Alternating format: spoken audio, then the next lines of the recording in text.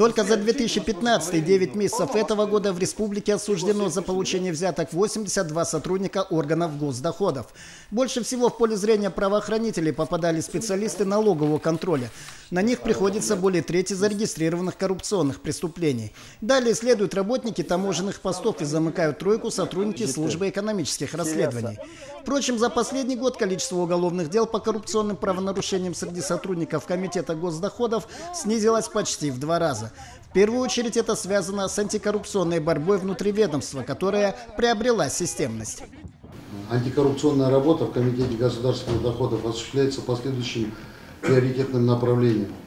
Первое – это проверка кандидатов, претендующих к зачислению в органы государственных доходов.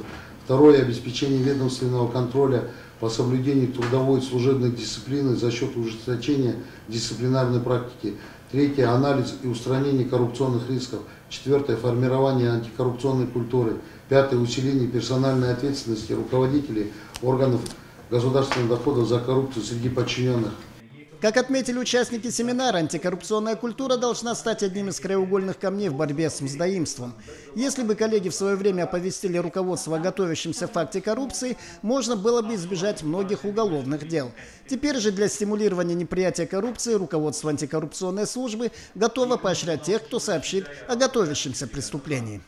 Э, за сведения о коррупционных правонарушениях предусмотрено вознаграждение в сумме от тысячи до миллиона тенге. Помимо этого, тем, кто помог в разоблачении, будут вручаться грамоты и ценные подарки.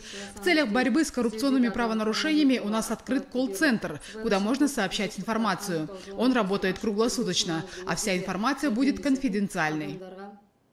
А борьба предстоит серьезной, подытожили участники семинара. На сегодня свыше 150 руководителей различных территориальных органов госдоходов находятся в зоне риска. По ним ведется оперативная разработка и вполне возможно, кто-то из этих сотрудников уже в ближайшее время станут фигурантами уголовных дел.